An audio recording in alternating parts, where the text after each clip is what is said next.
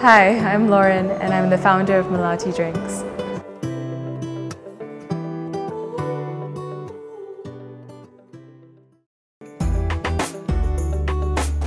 It took around two years for the whole process of discovering um, botanicals.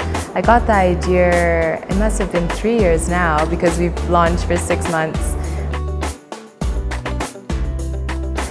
I mean, I think the self-doubt, um, I'm going up against some really big players like Diageo and Pernod Ricard, so, and they have much larger budgets than us and, you know, They've been in the industry for much longer.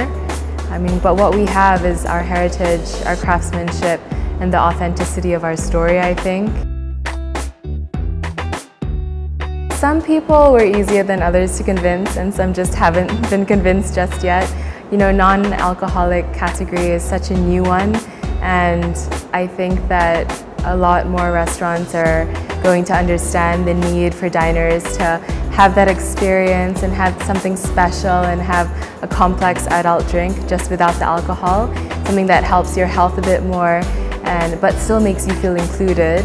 Um, so we're so grateful for the partners that we have. I think we're in over 80 restaurants now, restaurants, bars, retailers uh, in the past six months. Uh, it's been a lot of blood, sweat and tears uh, because I've opened every single one personally and I just truly value their support. I would say health is our number one asset and it allows us to lead the lifestyles that we want and that we enjoy.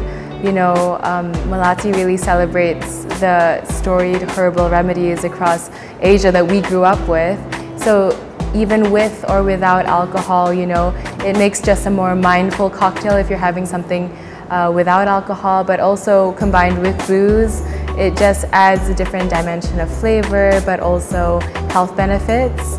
And who doesn't want something a bit better that is super easy and just an easy solution?